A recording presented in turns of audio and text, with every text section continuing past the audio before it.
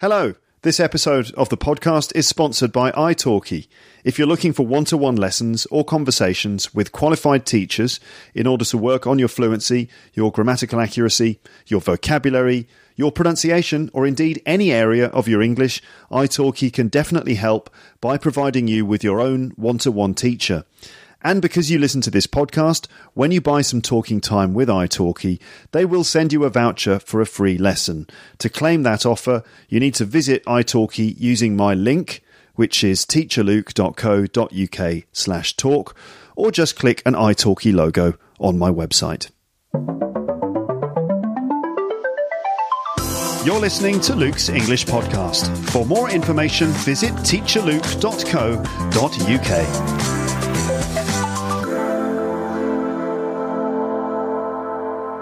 Hello, listeners. Welcome to the podcast. In this episode, you're going to hear me reading out some pages from an old diary I wrote 25 years ago when I was 16 years old. In the UK, a diary can mean two things. Either it's a plan, like timetable or schedule for the future, in which you have to write appointments and stuff. Like, for example, you might say, you know, let me just check my diary yes, okay, I'm free that day to have coffee with you, David Beckham. For example, if David Beckham has called you to ask if he if you can have coffee together, and you say, "Let me just check my diary, David, and let me see my availability." That's one meaning of it, like a, a schedule. But also, a diary can be a sort of notebook in which you write a record of things you've done and all your thoughts and feelings every day. So, you know, it's where you write all of your most personal and private things. So, in this episode, you'll hear me going through an old diary that I wrote when I was 16. And yeah, the, it's the personal type of diary where I was talking about my thoughts and feelings and things that I'd been doing. I recorded this episode today quite spontaneously, actually. The idea just came to me and I quickly started recording. I didn't use a script or notes at all, except for the things I was reading from the diary. It's a bit self indulgent to read your own diary like this. And I don't think that my teenage years have any particular significance or anything, no more than anyone else's. But I found it strangely fascinating to look back on my life 25 years ago, reading out my thoughts and remembering what was important to me then and how I was growing up in various ways. Imagine meeting your 16 year old self I'm assuming that you are older than 16 now. Some of you might be 16. So in, in which case, just imagine meeting yourself now. And just, in fact, just look in the mirror. But for those of you who are older than 16 now, which I think is most of you, imagine going back and meeting your 16 year old self. What would you say to that person? What would you think of their lifestyle and thoughts? What kind of advice would you like to give to your 16 year old self?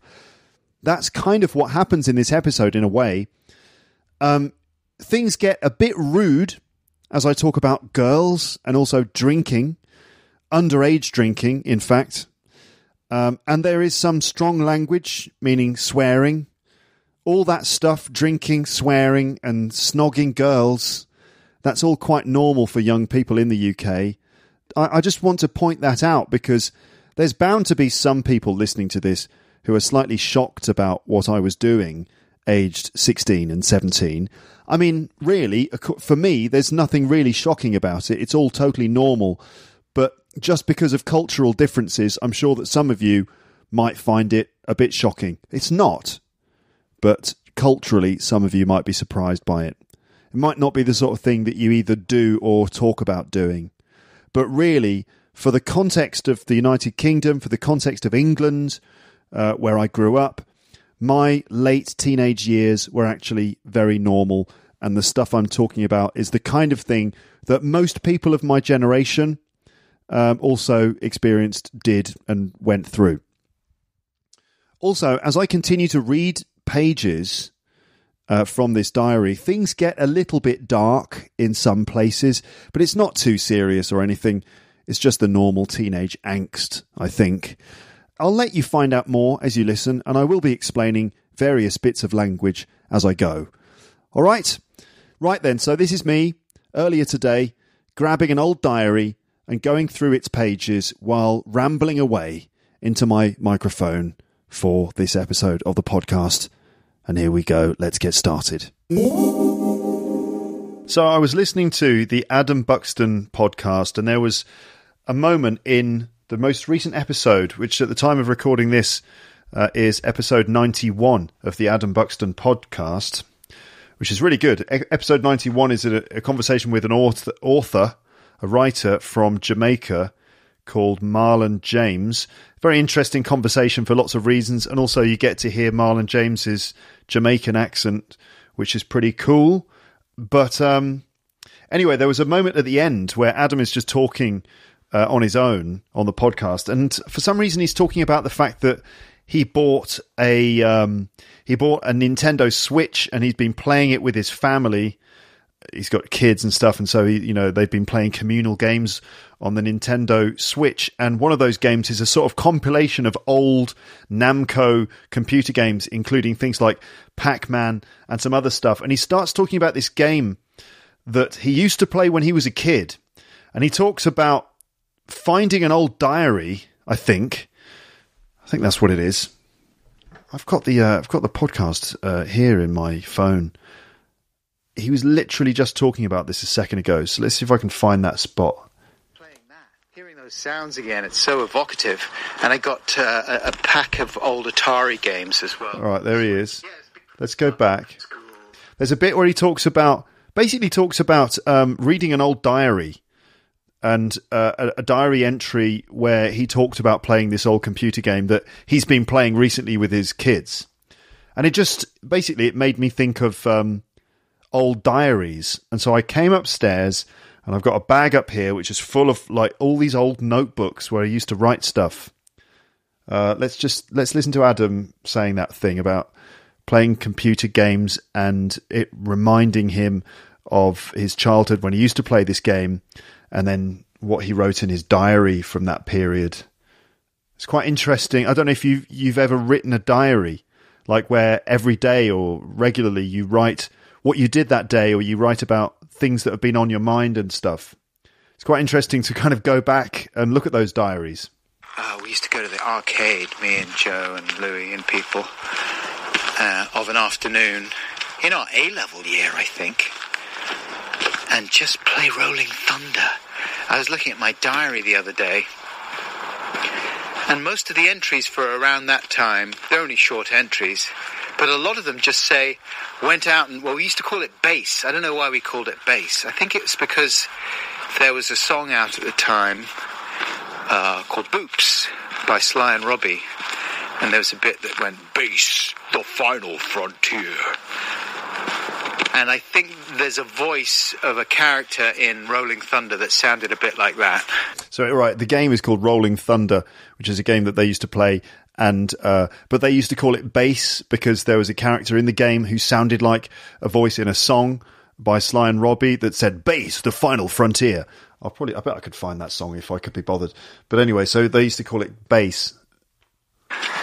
So we used to refer to Rolling Thunder as bass. Right. And my diary just says went to the arcade and got really far on bass. Oh dear but yeah, it's been quite cool uh, playing that. Anyway, that was that. That was what kind of made me think about. Oh yeah, diaries. And I had been thinking about the idea of kind of like maybe going looking through some of my old diaries and even using some of that stuff for the podcast in some way. Now it's all very kind of uh, what it's like navel gazing, you know. Um, it's a bit self indulgent and kind of looking back at your own past and just sort of just a bit it's a bit sort of self-involved but anyway the first one i got out of the bag the first diary that i pulled out is from 1994 so god how many years ago is that that's a long time ago um, i must have been about 16 i think at the time i think i was 16 and it, it's just a little glimpse into what I was like at the time or what life was like. I was in a band. That was a big deal for me. I used to be in this band and we played like this kind of punk funk music. And that was a really big deal for me at the time. And everything the rest of it was like music just being really heavily into music and making a lot of mixtapes. So i used to write out all of the track listings for the mixtapes i was making. I'd write all the tracks i wanted to put on the tape and then i'd put them in the right order and then i'd make the tape. And invariably the tapes would be for different people for friends of mine or, and stuff like that. And then so there's like lots of lists of songs uh, on these tapes that i'd made um, and in 1994, I didn't have a huge collection of music, so it's quite limited. So I had stuff like music from the Saturday Night Fever soundtrack. That's that uh, film with John Travolta. There's a lot of Bee Gees and stuff on that soundtrack, but a lot of other tunes like disco funk stuff that uh, I was into at the time. So this tape here, for example, on the first page has got a couple of tracks from the Saturday Night Fever soundtrack, um, some some hip hop, all on my nutsack. But I think that's by Ice Cube from NWA. There's some Beastie Boys in there. There's a couple of Beatles tracks. Um, Night Fever by the Bee Gees. Hey Ladies by Beastie Boys. And some other stuff like that. Um, all right. And then so going through lots of lists of tapes, and then one page where, and this is, I, I mean, this is potentially embarrassing, and maybe I shouldn't be reading these things out, but I think it's such a long time ago now, and I've obviously grown up a lot since then that I don't really mind sharing these things, and I don't really feel ashamed because, you know, I mean, I was only 16 at the time. But there's going to be some rude language coming up here, okay? Uh, and typical teenage stuff. So on one page, it's written diagonally across the page. So I haven't written sort of in, in neat horizontal lines, but I've written in diagonal lines across the page with pretty messy handwriting. And um, so, first of all, it just says, fucked tonight in capital letters with exclamation marks. Fucked tonight which obviously means I got drunk that night. And I was only 16 at the time, 16 or 17 years old. Um, it's quite normal in England to start drinking before the legal age. But that particular night, I, according to me, I was fucked, meaning I was really drunk. I don't know how drunk I was really, but that might explain why I've written across the page diagonally. But I mean, 16 years old, you're full of full of life at the time. And so, probably going out and having some beers and feeling a bit drunk would have been incredibly exciting and intense. And there were girls around and things like that. So, fucked tonight. And then I've written, I wanted a snog from Sarah, but no go. A snog, uh, that's when you kiss uh, someone sort of passionately using, well, it's more than just a kiss on the lips, right? It's a full on French kiss, which is a kiss with, well, it's a kiss with tongues, right? That's a snog. So I wrote, I wanted a snog from Sarah. I'm just trying to remember who Sarah is. I think I can remember who she is, but I'm not entirely sure. But anyway, apparently I wanted a snog from her. I wanted a snog from Sarah, but no go, meaning it didn't happen or it wasn't possible. And then I've written, I could have easily got one from her other mate who fancies me. I could have easily got one, so I could have easily got off with Sarah's friend who fancies me, but apparently I didn't. And then I've written, but she has a boyfriend. I could have easily got a snog from Sarah's mate who fancies me, but she has a boyfriend. Okay.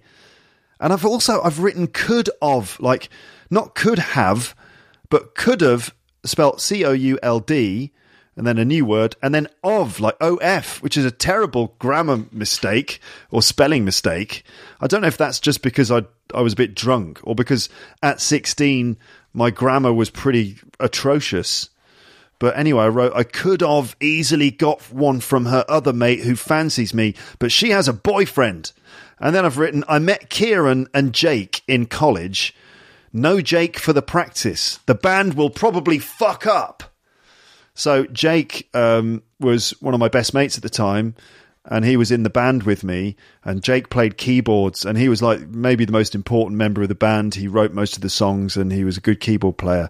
He played like Hammond organ stuff uh, in the band. So I met Kieran and Jake in college.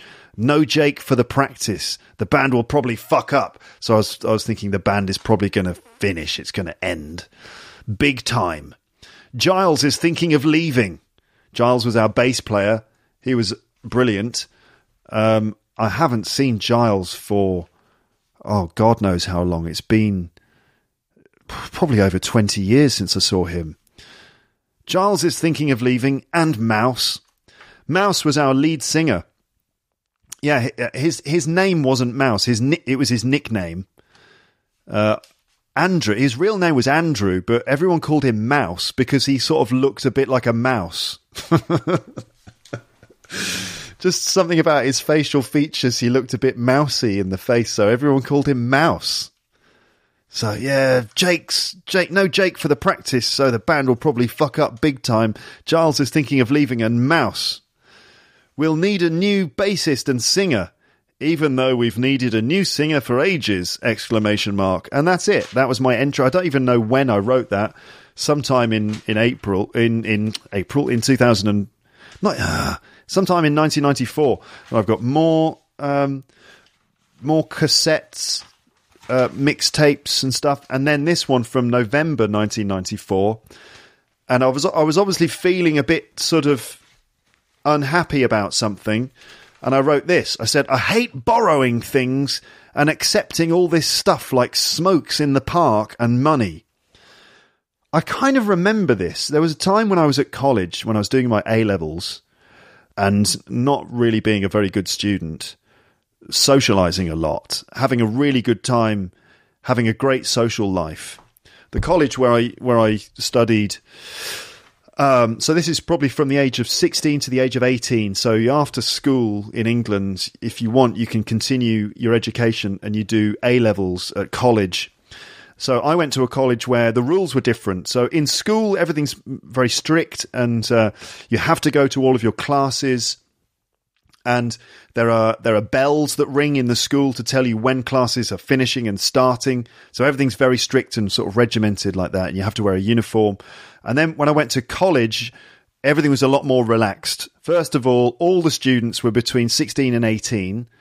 So, you know, that you didn't have all these kids hanging around. It was like these teenagers, uh, older teenagers and stuff, which immediately made it feel a lot more grown up and, and cool. You didn't have to wear a uniform. So everyone started to express themselves with the clothes they were wearing. And, um, what else? Yeah, that's it. The, the rules were not as strict. They said you don't have to attend all the classes. The main thing is that you hand all of your work in. As long as you do the work and attend the exams and hand in your assignments, then that's fine. You don't have to attend every single class. And f- for me, this was kind of like a green light to to just not go to half of my classes. Um, it was pretty bad. I mean, I was a bad student. I didn't get very good results the first time round, and I had to retake some of my exams and sort of study for another year. And then I got much better results and I got to university and so on. But the first two years of college, when I was 16, 17, 18 years old, a lot of time was spent messing around, playing music, and having a fantastic time. Uh, but not doing very well academically. But you know, I, th- I don't, I have no regrets at all because I had a really good time. But some, but I remember at that time I would come to college and often I just didn't have any money on me. I didn't really have much cash. When you're 16 or 17 or something, unless you've got a job, like a part time job or something, then you don't really have any money to speak of. You get money from your parents, like pocket money or maybe an allowance. An allowance is uh, just money that your parents give to you. It's not exactly pocket money. Pocket money is for kids. It's like here's some pocket money that you can spend on sweets or or like little toys or stickers, you know, football stickers or something, or Star Wars stickers. In in the eighties, it was Star Wars stickers and things. Um, as pocket money. But then when you get a bit older, your parents give you an allowance, which is basically more money. It's a bit more serious. You're supposed to, you know, manage your money a bit more carefully. But I never really seemed to have any money on me. And so I'd turn up at college and I'd be kind of borrowing things from my friends, sort of, um, um, scrounging, scrounging off my mates, and I'd scrounge money, you know, from friends. You know, you got thirty p. I need thirty p to get a packet of Fruit Pastilles from the vending machine, or have you got twenty p so I can buy a Kit Kat in the cafeteria? Stuff like that, and I'd scrounging cigarettes and things as well because in those days, you know, I, I smoked sometimes, and so that was what life was like. So, I, but I wrote this one one evening. I hate borrowing things and accepting all this stuff like smokes in the park and money. It makes me feel really selfish. I really just want to be really generous. Just have one day when I take about ten pounds into college and spend it all on people that have crashed me things. To crash uh, someone something was a bit of slang that we used at the time, meaning to just give something to someone. Like, can you crash me a smoke or can you crash me a fag? A fag in British English means a cigarette. In American English, it's something completely different. It's a gay person. But, you know, British English, a cigarette, a fag is a cigarette. In American English, it's a gay person. So in English, you can say, uh, can you bum me a fag? Can I bum a fag off you? In British English, can mean can I borrow a cigarette from you? But if you say that in America, it might mean something completely different. Can I, excuse me, can I bum a fag off you? Can you, can you bum, can you do a what? You want to bum a fag off me? I don't even know how that's possible. But anyway, in Britain, so yeah, I want to just take about 10 pounds into college and spend it all on people that have crashed me things crashed me like bits of money and cigarettes and stuff. Ten pounds back in November 1994. That was probably quite a lot of money, but these days, ten pounds wouldn't go very far. And I've, I've then written this. I suppose I'm just concerned with people not liking me. When it really comes down to it, this is where I'm getting deep and meaningful about what's important in life. When it really comes down to it, it's most important to have mates Mates means friends. It's, it's most important to have mates who like you and that you like. Without that, you're pretty fucked. You see the colourful language I was using in my diary back in 1994. I mean, that is obviously true, though. That's true. I was right about that. Um, that uh, when it comes down to it, it is most important to have friends that that like you and that you like. And without that, you're pretty fucked. I wouldn't go that far these days. Then on the next page, and I'm just kind of surprised by some of the stuff that I wrote in the diary. It's just kind of, it's just funny to look back on some of this stuff. So on the next page, I, I, this is quite interesting because it seems I was trying to express ideas and trying to be creative, but I don't know what I was thinking about. But I wrote this just at the top of the page. It says emotions. And then there are five points A, B, C, D, and E. And I'm trying to describe emotions, uh, but with images. So the first one it says emotions A, a glass of water. And then I've written no emotion, completely emotionless. Nothing comes to mind. Okay. Again, I've no idea why I was writing this. And then uh, B, the next point, it goes like this white room and it says uncomfortable, not relaxed, no chance of any sleep. Okay. I think I was, I think I sort of vaguely remember this kind of thing. I used to just do these, this stuff as a way to just be open minded. I just thought, I'm going to open my diary and be completely open minded and just write ideas down and write, try to express myself. Um, the, the third one says dark cave a cave is like a sort of a, a hole in the side of a of a of a mountain or um, a hole in, in, in some rocks. Um, you know, people say that, that humans used to live in caves uh, back in the you know back in the Stone Age or, or whatever. A cave is yeah, like a hole in the side of a, of a mountain or a big or a cliff side, and you know a place where you could go to get shelter. And I've written dark cave, and I've just written security, comfort. And then D, I've written favourite animal. And my comments there about favourite animal, uh, this, I've written humans because you can talk to them. I am one. I can have relationships with them. I understand them more than other animals. And they're very complexed. Complexed isn't a word. I mean complex or complicated. All right. I, I would probably stick with that. I mean, if we assume that humans are animals, then I think probably humans are my favourite animals. And then I've said this. So, if favourite animal, humans, because of the reasons given. And then I've written, if that doesn't count, because I imagine for some people it doesn't really count, then I've written dinosaurs, because I just saw Jurassic Park on video and they're brilliant, incredibly exciting, mysterious, beautiful, and dangerous. And then I've written second favourite animal, cats, especially my cat. Because he's got his own personality that I can understand without even talking to him. He's cute and part of the family. So, I mean, if I had been doing Luke's English podcast in 1994, this is the kind of stuff that I would have been doing. Like, you know, a glass of water, no emotion, completely emotionless. A white room, uncomfortable, no, re- not relaxed, no chance of any sleep. A dark cave, security, comfort. Favourite animal, humans. If that doesn't count, dinosaurs. Second favourite animal, cats. Oh my goodness. What's next? Okay, there's there's a paragraph here where I've just obviously got a new pen. Now, um, I don't know if you ever do this, but when you get a new pen, you want to write with it, especially if it's a nice pen. But what do you write when you just want to write because it's pleasant to write with a nice pen? What do you write? Well, this is what I wrote in 1994. I wrote this. This is a really nice pen to write with, and I really want to keep writing with it, but I have just finished my work, and I've got nothing more to write, so I decided to write this with it. Deep. Deep. um, what else? Lots more mixtapes.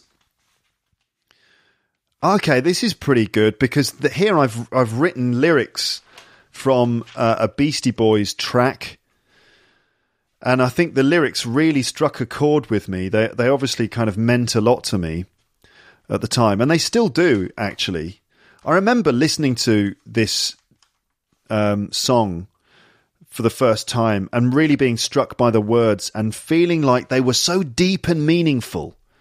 And I wrote them down in order to just sort of try and capture that feeling that I had, some sort of profound feeling you know, I mean, we must all experience this at some point. It, it, must be something that everyone experiences at a certain point in your um, in in your sort of development as a person. At some point in your uh, maybe childhood or in your adolescent years or something, you suddenly start to get a, a much more profound set of feelings. As a child, your feelings are not always that profound. It's kind of quite um, superficial in a way. Uh, but then as you get older, you start to feel feelings. And it's kind of like this odd sensation of really feeling like the, a deep sense of mystery or deep sense of um, profundity about life. You know, it's when, when teenagers start to get a bit kind of poetic and they they kind of start listening to deep and meaningful music and start writing poetry and things like that in order to just try and express the feelings that they're, they're having. So I was feeling a lot like that at the time. These, you know, as you get older, I mean, I'm in my 40s now, which is, you know, hard to believe. I'm going to be 42 this month. My birthday's in a couple of weeks. I'm going to be 42. I can't believe it. I still feel, obviously, I still feel like the same person because I think you do, don't you? I mean, you, as you grow up, you feel like the same person. It's just like your body is getting older. You've had more and more experiences, so you've got more memories, and you hold a lot more experiences with you as you go through life. And those things sometimes they start they. I mean, it's like baggage. You know, you're carrying around this baggage with you in terms of like just all of the experiences you've had and the the things that have happened to you, the people that you've met, and it builds up and up and up, and you just feel like you're carrying all this stuff with you. If you look back at your life, you know, you can see all these things and you carry it with you every day. So, but I still feel like exactly the same person. I just feel like I'm carrying more experiences with me, things that, you know, and I've learned a lot more. I've got a lot more knowledge, uh, and, and, and so on. Uh, and my body is older and all that sort of thing. But in my, heart, I still feel like exactly the same person that I was when I wrote these things in 1994. Same person, but I mean, I'm, I'm not. It, you could say I'm not the same person because they say, I don't know what the science is for this, but they say, uh, have you ever heard this? They say that um, this, all the cells in your body um, are replaced. You know, the way your body sort of replaces cells or dead cells die and are replaced by new cells. Constantly, your body's sort of like repairing itself and rejuvenating and stuff. Um, I think it's something like every seven years, all of the cells in your body are completely replaced. That sounds totally mental, I know. Some of you are thinking, what? What are you talking about? You're crazy. Um, I'm gonna I'm gonna Google it. How often are all? No, I'm gonna just ask Siri because I can't be bothered to type. I'm using my phone. Hey Siri, how often are all the cells in your body replaced? Okay, I found this on the web for how often are all the cells in your body replaced. Check it out. Thanks, Siri. And by the way, I've I've I've put Siri, I've changed Siri's voice. Now she is an Australian woman. I've decided that I'd quite like Siri to be an Australian woman, so that's why that's why Siri kind of speaks it like this in this Australian accent. Okay, so um, let's hear that again. Hey Siri, how often are all the cells in your body replaced? Okay, I found this on the web for how often are all the cells in your body replaced. Okay. Check it out. Thanks, Siri. Check it out, mate. Yeah. Okay, so the answer here is from livescience.com. Does the human body really replace itself every seven years? Uh, then curiosity.com. Does your body really replace itself every seven years? Okay, so certainly these are questions that people are asking. Let's see what the answer is. This one's from Snopes.com. Uh, I'm assuming this is a trusted source. Does the human body replace itself every seven years? While the vast majority of cells would be replaced every seven to ten years, some cellular outliers make such a statement pointedly false. Uh, while the vast okay, so the point is that it's not the whole body that gets replaced into on a cellular level every seven years but the vast majority of, of cells in your body do get replaced every seven years. But there are probably some cells that don't get replaced every seven years. And so it's not really true to say that uh, every cell in the human body is replaced every seven years. Uh, am I going to read this? How long is this? It's quite long. Oh, it's quite long. Maybe I can read the. Uh, it turns out that each body part has its own very distinct lifespan. The lining of the stomach, constantly under assault by digestive acid, is renewed every few days, but bones are refreshed once a decade, and there are a few parts of you that stay with you from birth to death. Okay, so it's not f- true to say that the entire body is replaced every seven years, but uh, most of it is. And some parts, some cells in the body are there from birth to death. Okay, so it's not true to say that I am a completely different person to who I was um, in 1994. It's not true to say that, uh, although to a large extent, many of the cells are different. Anyway, what was I saying? It's just a strange experience to look back and uh, read comments. And so the lyrics to this track, uh, Beastie Boys, the, the track is called Namaste, which is off their 90, 1992 album Check Your Head. Namaste. Namaste is is Indian, isn't it? It's a it's a it's a respectful greeting said when giving a namaskar. All right. Now some people definitely know what namaste means. I think it's Sanskrit and Hindi bowing to you. I think originally in Sanskrit it means bowing to you. It's basically like a way of it's like a greeting.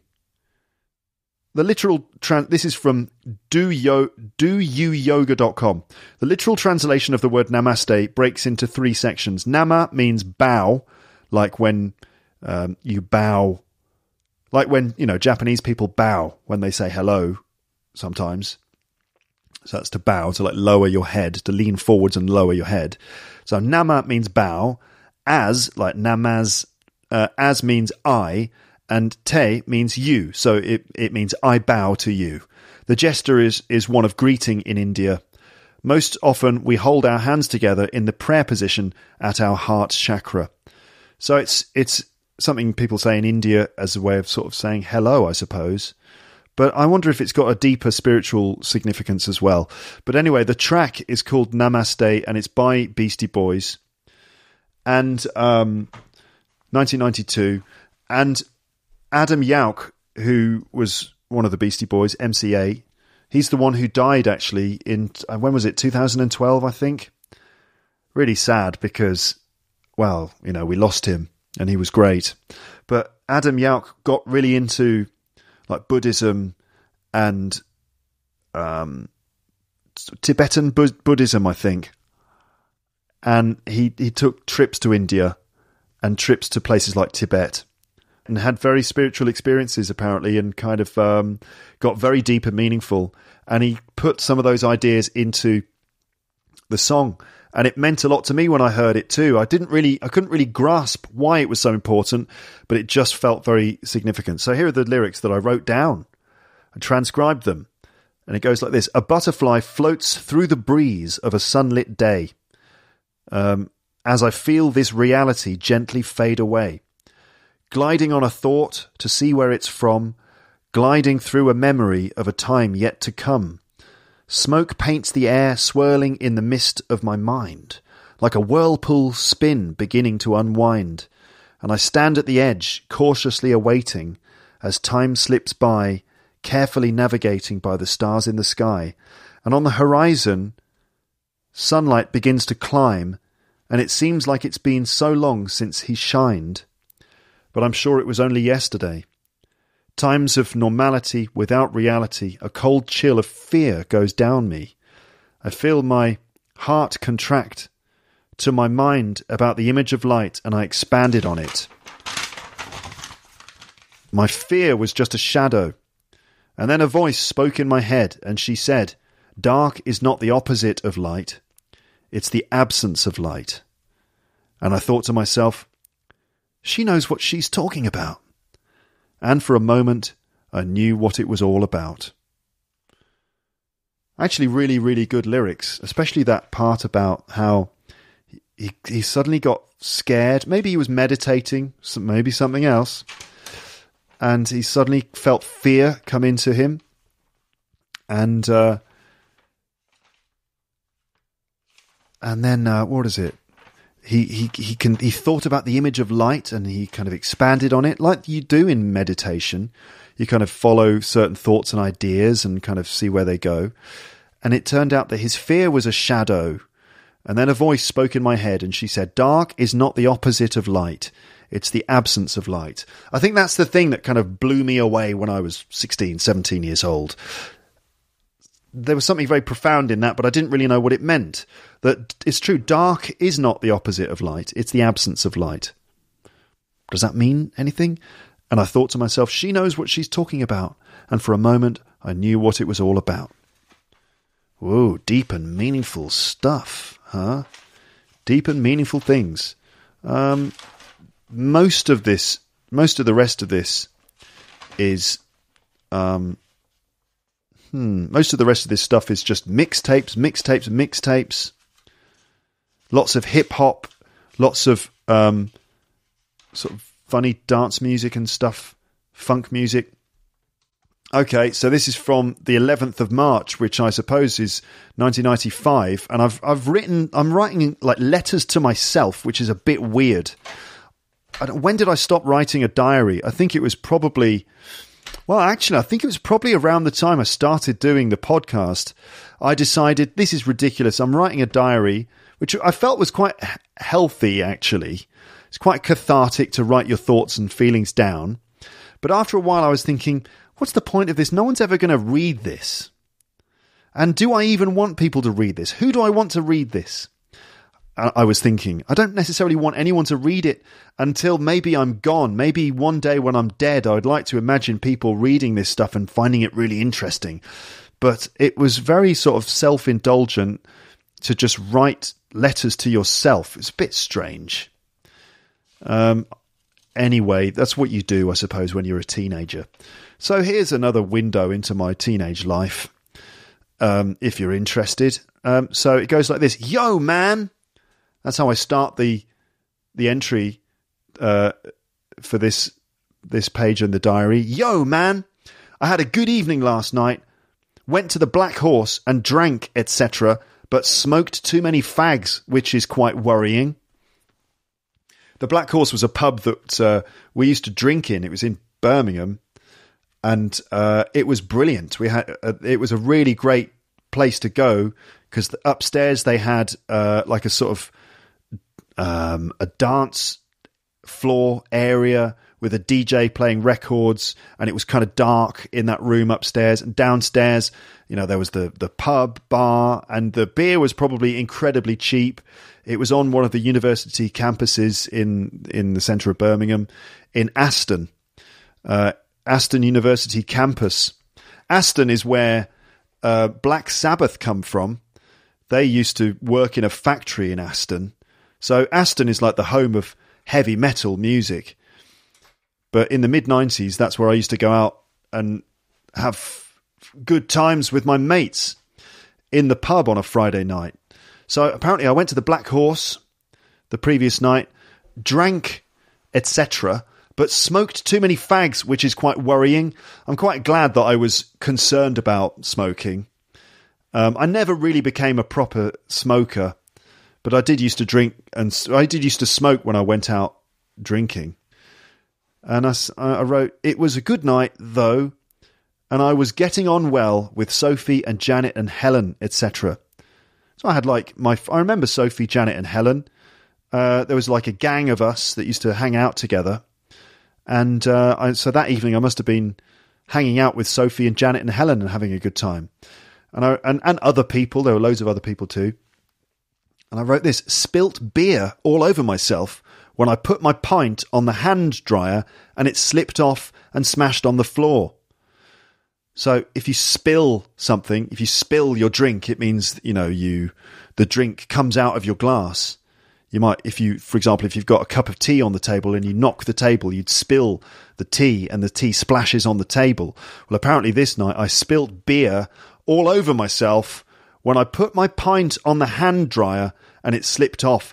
So, God, I must have like gone to the toilet with my pint. I mean, back in those days, right now, if thinking about it now, that sounds so unhygienic and so kind of um, so terrible to like go to the toilet with your beer.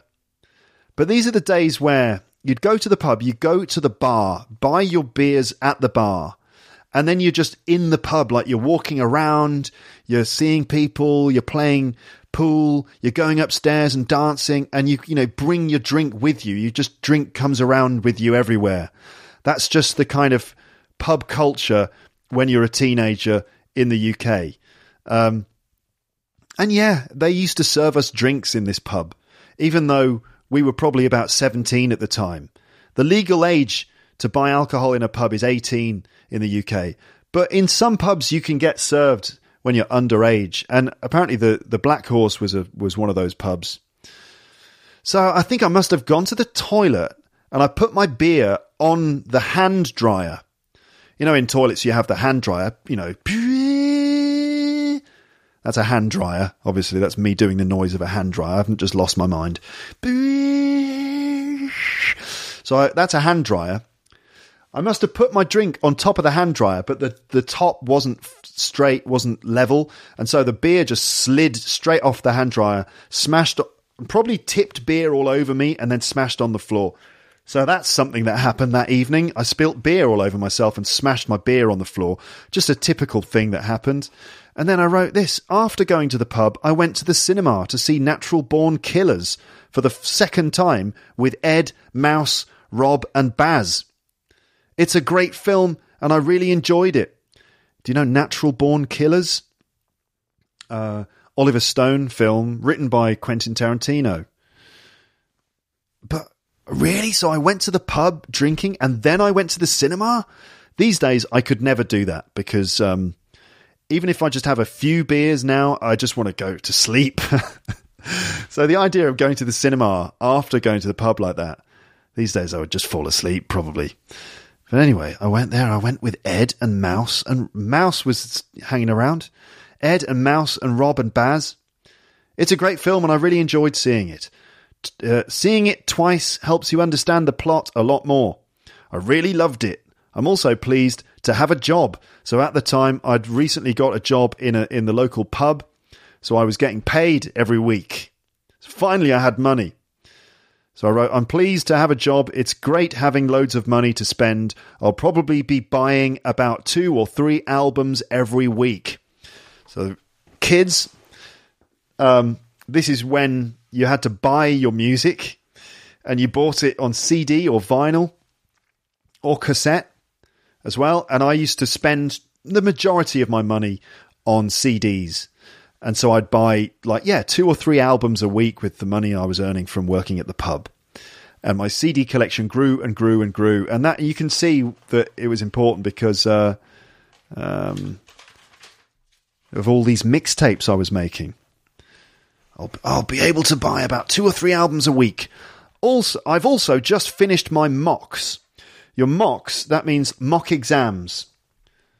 Mock exams, um, so when you're taking exams, you've got the final exams and you have your mock exams, which happen um, probably after the first year of studying A levels.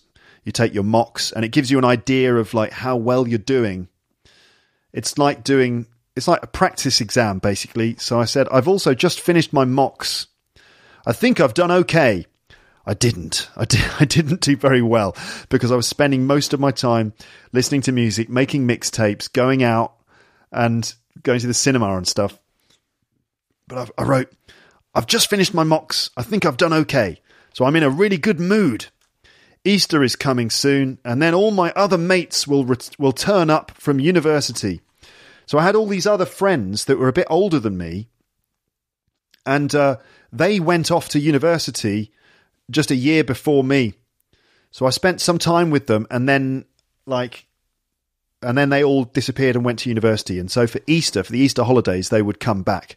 So I was feeling in a good mood because I was going to see all my mates again. Um, I'll have to go and visit Dave soon. I haven't seen him in a while. Now, which Dave is that? I'm not sure which Dave that is. And then I've written this Speak to you soon, Luke. As if I'm writing a letter to myself. Ah. Uh, anything else? Anything else to share? Uh, Let's see. More mixtapes. Oh my god. All right, hold on a minute. Okay, so this next one is from April of that same year. So just like a month earlier, I was feeling in a great mood. And then by April, it seems everything went wrong. Maybe after I'd got the results of my mocks or something, although I don't mention that. Um, so I've written this, and this it sounds really serious and dark. These days, if these the things these things had happened, I don't think I would be reacting them reacting to them in the same way.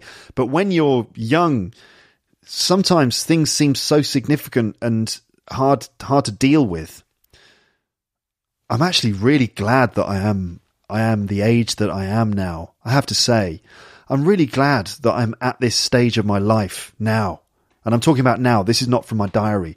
I just feel so much more confident and self assured. It's it's great. But when I was 17, I think I was still 17 at the time of writing this, some things felt very tricky and I was a bit insecure. So here are some things from this page.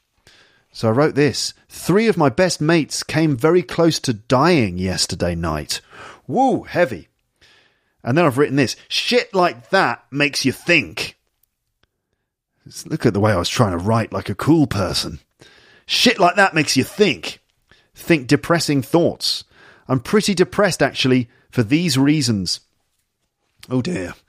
So, and I've, then I've given a list of reasons why I'm depressed. I wrote this Jake, Ed, and Mouse nearly bought it in a car crash. By the way, to buy it can mean to, to die, to be killed. So Jake, Ed, and Mouse nearly bought it in a car crash. Ed's car is wrecked. I remember that. I remember when that happened.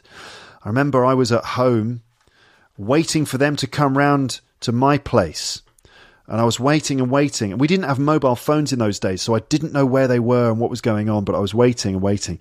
And then eventually they turned up and it was all really bad because Ed had had a car crash. Apparently, because I lived out in the middle of nowhere in the sticks in the countryside. And for people to come and visit me, they'd have to drive. And Ed had recently got this car.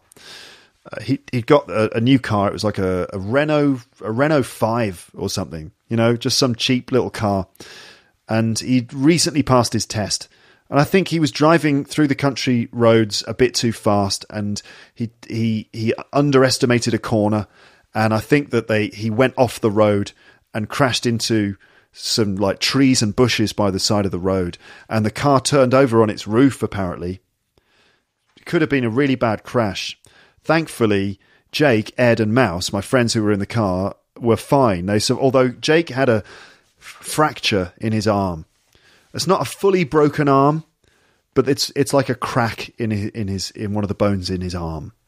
I remember when he turned up, they looked very shaken. They looked white, you know, they'd all they'd gone white. They looked really shaken.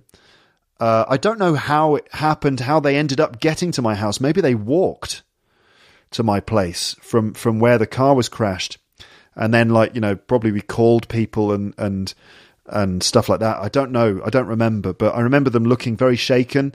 And Jake was complaining of a very painful arm. It turned out later that it was fractured. Um, and then I've written. So that was the first reason I'm depressed, and this happened yesterday. That this happened the day before. The next thing is I've written this. My exams are coming closer and closer. And then the next point is, what am I going to do in life? Which was always a, a, a real concern, a real worry. I always used to be so worried about what on earth, what on earth am I going to do? There was so much pressure to kind of pick a, a career path. I wish I could. I wish I could have just gone back. I wish I could go back to myself at that time and say, don't worry about picking a career path. Just pick one thing that you want to do and just do that. And just get started. It doesn't, you don't have to pick the perfect thing. There's no way you can know what the perfect thing will be. Just pick one uh, one direction to take and just do that and try to do lots of different things and stay curious and work hard and learn from your mistakes and you'll be fine. You'll be great. Don't worry about it too much. Just do it, is what I wish I could say to my younger self. But I used to get really worried about what I was going to do in my life.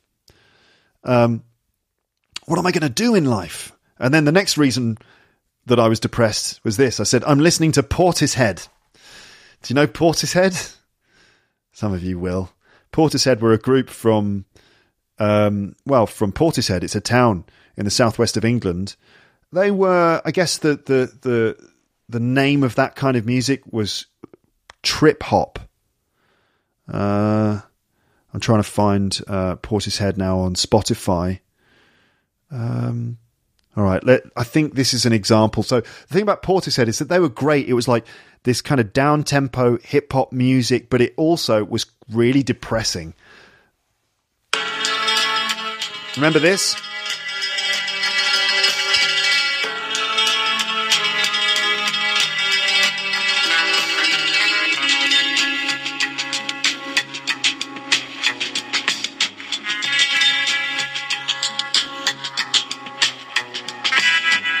Really, really good, like uh, down tempo, atmospheric trip hop. It sounds like a, a movie soundtrack or something. Really, really good stuff. But the tone of it is definitely on the depressing side. And then when the, the singer starts singing, she's got this kind of, um, yeah, she's got this sad uh, sounding voice.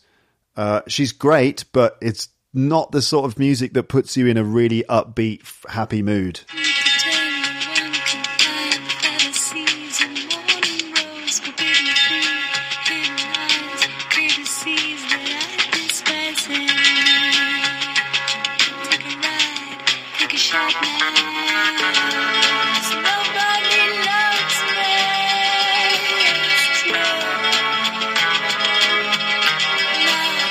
Nobody loves me. Good music, but quite depressing for me. So I wrote, oh, you know, like uh, my friends had a car crash and they nearly died. My exams are coming closer. What am I going to do with my life? I'm listening to Portishead. And then the next point is this Is my life fucked up? I was concerned that my life was somehow fucked up. Again, I wish I could have gone back and said, No, it's fine. Don't worry. Just stop listening to Portishead. Maybe just have a cup of tea. It's going to be okay. And then I wrote this I can't make it with girls. So I was really concerned about my relationships with girls. I said, I'm stupid. Loads of them fancy me, meaning I was quite popular with girls. But then I wrote, I just don't do anything about it. So, like, girls fancied me, but I never did anything about it. And then the next point is Portishead is so depressing. And then I started saying, "Oh, this is a bit sad. Like, oh, I think I feel like things are slipping away."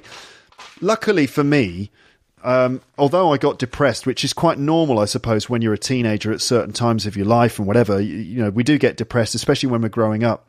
But I feel quite lucky in that it didn't get worse. It didn't get worse. That was like just a bad moment, and you know, things got better, and I and generally I was happy and I had good experiences and good times going through that time of life.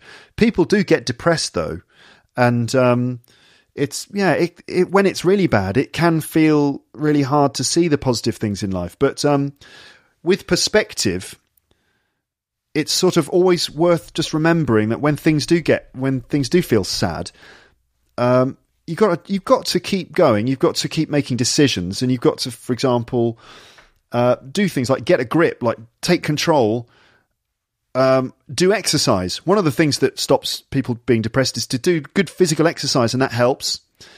Get plenty of sleep, eat well, work hard, do exercise, have fun with your friends, and try to look on the bright side. But sometimes, yeah, things can get a little bit heavy. Um, all right, I'm tired. Um, Jake broke a bone in his shoulder. Um, like, and I, I wrote this like loads of people I know have turned into stuck up, super, super confident idiots. Whoa.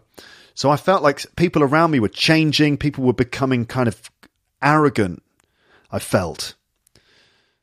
And I said, they, they piss me off so much, and they all wear clothes that I was wearing about two years ago, and they think they're so original. Apparently, this was important to me at the time the clothing choices. So I, I saw people wearing clothes that, according to me, I'd been wearing two years ago. God, like fairly small problems, but they felt big at the time. And then the last line was, "I'm, I'm, I'm depressed." Oh, and it goes on on the next page. I need to hug a girl. Oh, so sad. I need to hug a girl, a girlfriend even. I wish some people could see me for what I really am. Oh my goodness. Well, well, well. Does it get better? Does it get better? Um, trying to find. There's more and more tapes. I made a lot of mixtapes. Um, I'm. Tr- I could name some of the, the tracks that I I uh, I put on this stuff, but I don't remember a lot of this these things. I made a tape for James around this time, and a lot of it was funk music. Let the music take your mind by Kool and the Gang. Mr. Tanaka by the brand new Heavies. Love the Life You Live by Kool and the Gang. Um, some of these I don't know. Root Down by um, the Beastie Boys. Little Green Bag from the uh, res- uh, from the Reservoir Dogs soundtrack. Half the Man by Jamiroquai. Uh, Open Up by Leftfield.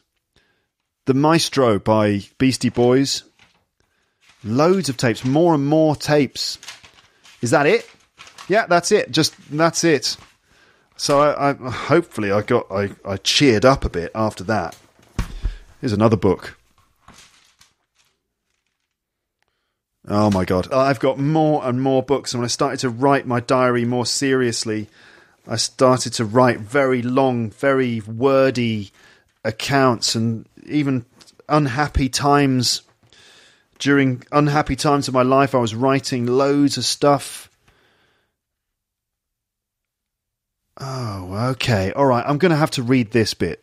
So I've just uh, randomly opened a diary from the 30th, 30th of August, August 2006.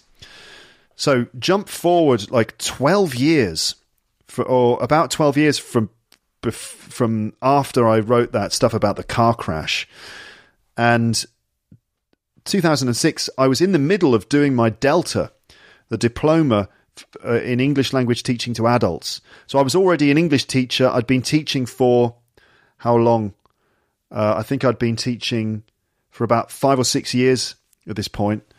And so just randomly opening it up, I've, I've written this. I have so much potential, but so often I get stuck in a rut easily and I can't lift myself out. There's a good phrase to get stuck in a rut. So imagine, um, imagine a horse-drawn cart. Okay, first of all, to be stuck in a rut means to be stuck in a, in like a, a, a, a in habitual behaviour, or to be stuck in a situation in your life that you can't really escape. So it's kind of like, for example, stuck in uh, a routine, basically that that you can't get out of. So I, I, I said I have so much potential, but I but so often I get stuck in a rut easily, and I can't lift myself out. So a rut is actually a groove in the ground caused by the wheels of um, like a, a a cart being pulled by a horse. So back in the olden days, before we had cars, uh, everyone used horses and carts to travel stuff to, to carry stuff around. A horse in the front, and then a wooden cart with big wooden wheels and the horse would pull the carts around, often on mud uh, tracks, and the ground would you get these ruts in the ground caused by the wheels of these uh, carts going along. So if you're, let's say you're going along um, the road and your cart gets stuck in a rut, that means the wheel gets stuck in a groove in the ground that's been made by other carts, and it's like difficult to get out of that rut and to to you know to get control of the cart again.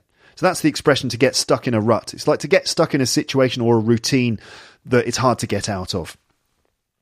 I said, I get stuck in a mode and I can't break out. It feels like I'm trapped inside myself. I want to be so much better. If I fail the Delta, I'm not sure what I'll do. It could be a big blow to me. I'd like to just break away and drop out. But Christ knows what I would do. Uh, I, I, I, I can't fail it. As, I can't fail it though. The lesson reports will show that the plans or aims. So I'm talking about actually one lesson, one part of the Delta that I failed and had to retake.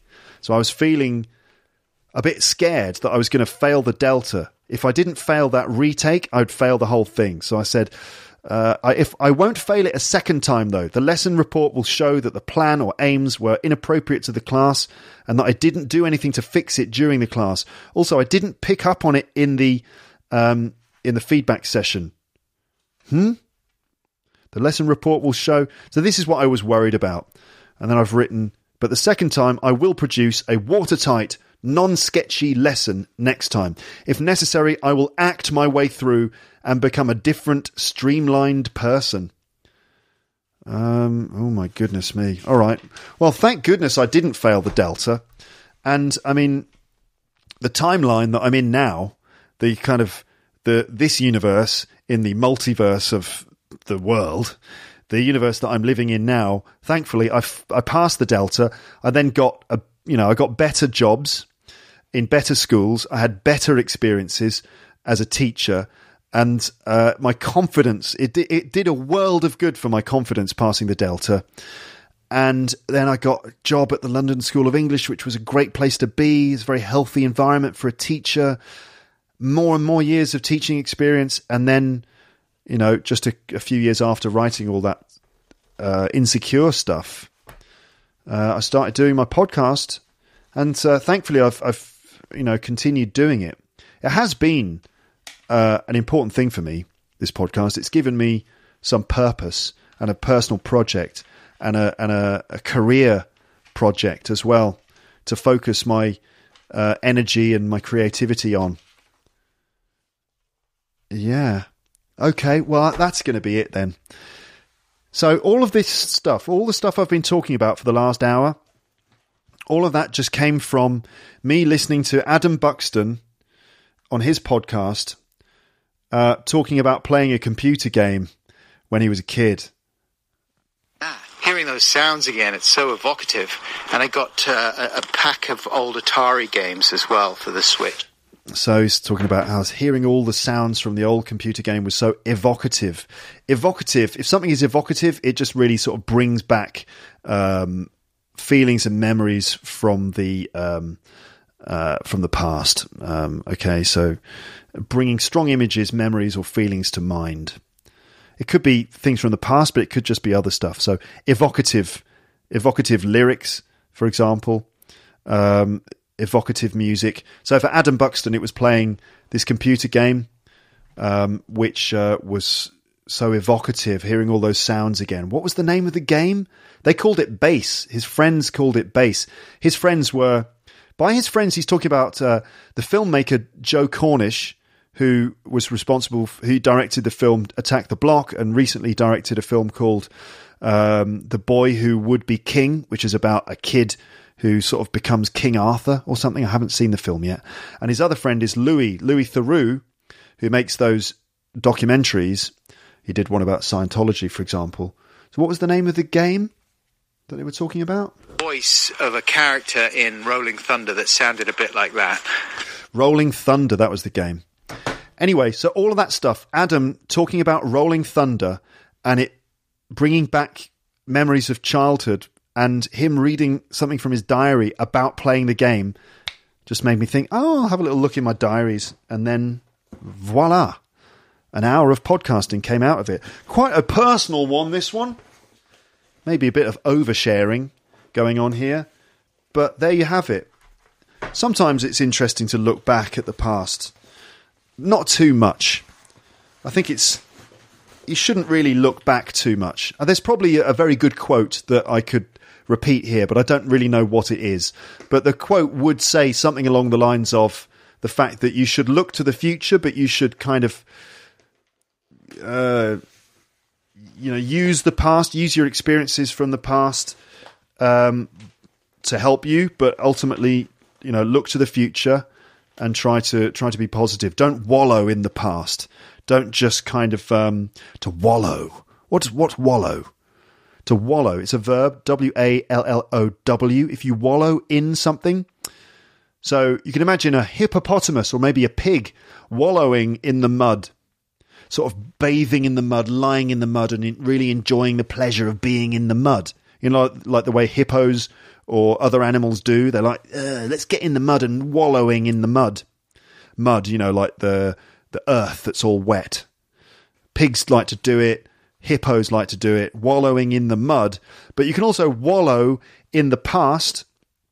That's where you kind of like go into the past and sort of just enjoy going back into memories of the past and stuff. But it's bad. You shouldn't wallow in the past. And also, you can wallow in certain negative emotions. You can wallow in misery or wallow in grief and things like that. But we shouldn't really uh, try to, you know, we should try to avoid wallowing in, in, in the past we've got to try and look to the future. But sometimes it's interesting to look back and just to kind of mark the difference, mark the change. Is this a thing I'm doing a lot at the moment? Because I've been, I, you know, I've been talking about those old videos I made and all that stuff. Maybe this is is just something that um, I don't think I'm I'm uh, uh, thinking about the past or evaluating my life any more than normal. It just happens to be that I'm I'm talking about it a little bit on the podcast. Anyway, thank you for listening to this very personal stuff. Um, leave your comments on the website as usual. By the way, premium subscribers, uh, more premium stuff is coming soon. Okay, I know it's been a little while since the last series. The last series I did was about present perfect tense, five episodes. Uh, exploring the present perfect and present perfect continuous, and also past simple and other tenses and comparing it and doing all the practice exercises and listen and repeat drills and all that stuff. That was the last series that was in April. Now we're in May. So I'm working on new premium content where I'm going to be focusing on language, not just wallowing in the past and reading through uh, pages of my diary, but um, uh, getting stuck into the language. So I've got stuff coming up. Okay, uh, for the premium subscribers. Uh, there'll be episodes where I'm going to get into language and demonstrate, explain, and repeat and repeat certain bits of natural English to help you push your English uh, and to you know really get that that kind of um, range and diversity of vocabulary that you really need to become the kind of um, you know advanced level English speaker that you want to be. So premium stuff is coming soon, as well as other episodes. And I'll talk to you about things like, you know, the plans for episode 600. I will tell you the date for the live stream, the YouTube live stream, as soon as I can. But it'll probably be, it'll probably probably be like, you know, June or July. Okay, because I've got about seven or eight normal episodes to go before I do that. So if I do about four episodes a month, then it's going to be at least two months from now. And if I've got lots of premium stuff to do as well, that's going to push episode 600 back a little bit. So it'll be in the summer, June, July, at some point. That's when the live stream will happen. So we've got a bit of time. But as soon as I've worked out when it's going to be, I will tell you the date for the live stream. And then um, hopefully you'll be available and you can join in. Um, and it's Ask Me Anything. That's the theme. I know it's it's not very uh, specific. It's just going to be ask me anything. I've never done one of those live streams before, so I don't know how it'll go. I don't know how many people I'm going to have. Uh, the you know who knows? Maybe I'll get so many questions coming into the comment section that I won't be able to deal with them. We will see. Anyway, it's just going to be like a fun little party where you can just join me and I'll talk to you on YouTube. The audio will be made into a podcast, so and and the video as well. I'll I'll I'll share the video with you as well afterwards. Okay, so I'll let you know about that as soon as possible. But that's it for this episode. Leave your comments and thoughts. Anything that's struck a chord with you during uh, this episode, any things that I've said or mentioned that have kind of that mean anything to you, if you feel moved to share your thoughts, then get into the comments section and, and leave some comments there, and uh, and that would be good. All right, okay, good. So I'll, I'll speak to you again on the podcast soon. Will I? Yeah, I will. I'm going to say goodbye in a minute, but I've got the guitar here still, so you know I'm going to do another song because I like doing that. If you don't like the bits where I sing, then this is where you can stop listening and you can just go off and do something else. But if you if you like to hear another song, then stick around because I'm going to do one for you. I'm just I just need to plan what it's going to be now. I'm pausing the podcast and then uh, we'll do a bit of singing. No idea which song I'm going to do, but we'll work it out in a second. Right, so I'm going to do Waterloo Sunset by the Kinks, which is another classic. The Kinks were a British group from the 60s, part of the British Invasion, one of those bands that kind of, on the heels of the Beatles, made it big in the US and, you know, in lots of other places too. This is Waterloo Sunset, which I'm sure lots of you know. I think it's, I think it's one of those songs that comes up in one of the English language course books. It's like, you know, English file intermediate or something, you know, the, where they have songs in those course books sometimes. Not usually the original versions, usually their, their cover versions. Anyway, Waterloo Sunset by the Kinks. Um, oh, it's raining. Can you hear the rain? Don't know if you can hear that. Pouring with rain while I do this. Waterloo Sunset, and basically the, the lyrics, you, you'll find a link to the lyrics on the page for this episode, but you can imagine the writer um, sort of looking out of his window. He wrote this um, when, um, oh God, I can't believe I've forgotten the name of the writer, the, the, the singer from the Kinks, Ray Davies. Um, I, apparently, he had a flat which had a view over Waterloo, which is a part of London. There's a bridge there, and he uh, he wrote this song. He was sort of inspired to write the song after just looking out on the view of Waterloo Bridge and seeing people walking around and kind of imagining their lives, imagining characters like Terry and Julie who meet each other at the station, and Ray Davies's feelings about just sort of these lazy days looking out of the window. It's a nice, it's a ni- lovely track. There is a.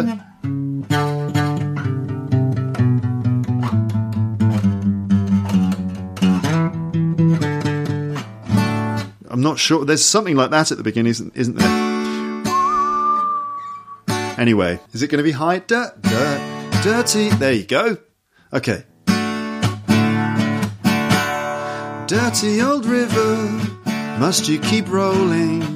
Rolling into the night. people so busy makes me feel dizzy. Taxi lights shine so bright, but I don't need no friend as long as I gaze on Waterloo sunset. I am in paradise.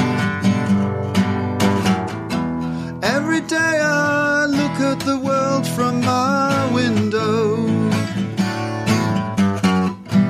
Chilly, chilliest evening time. Waterloo sunset's fine. Terry meets Julie, Waterloo Station, every Friday night. But I am so lazy, don't want to wander. I stay at home at night. But I don't feel afraid as long as I gaze on Waterloo sunset. I am in paradise.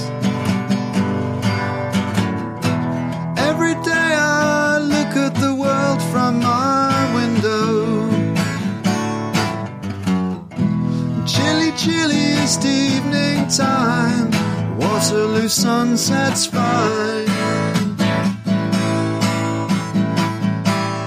Millions of people swarming like flies round Waterloo Underground. And Terry and Julie cross over the river where they feel safe and sound. And they don't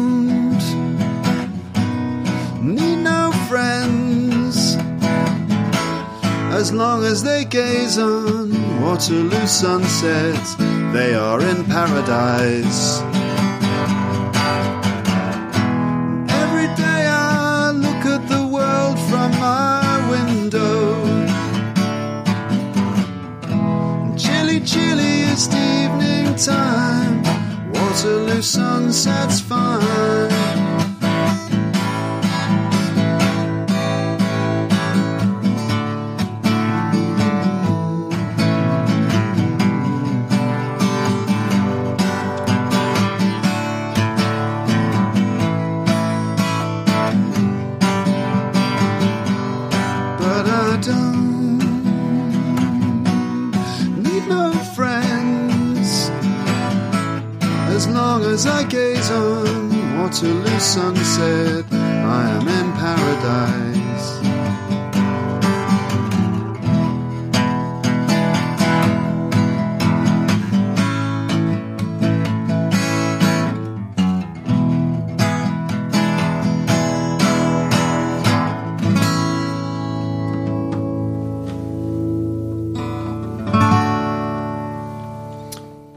That's it for this episode. Thank you very much for listening. Speak to you again on the podcast soon. But for now, goodbye. Bye, bye, bye, bye, bye, bye, bye, bye. Thanks for listening to Luke's English podcast. For more information, visit teacherluke.co.uk.